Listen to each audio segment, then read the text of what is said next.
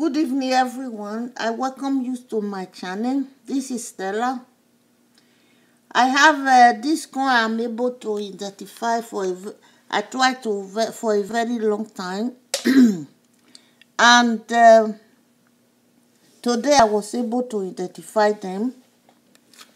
And uh, tell me what this coin have in common. These two coins.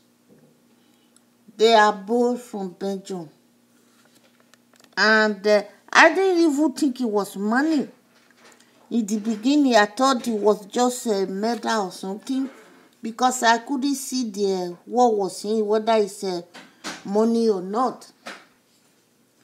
And then it turned out that uh, yes, it's money, and they are both from Belgium.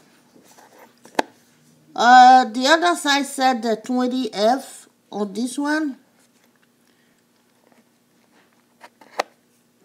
The other side said 5f on this on this one also which means it's uh, they call it a Belgian franc.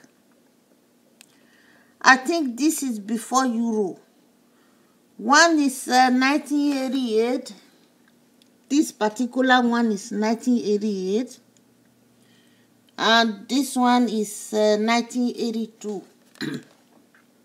so I thought I put it up and uh, I'm so glad that I was able to get this one identified again. So I invite people to visit my channel and subscribe. I thank you all for watching. You have a great day. Bye-bye.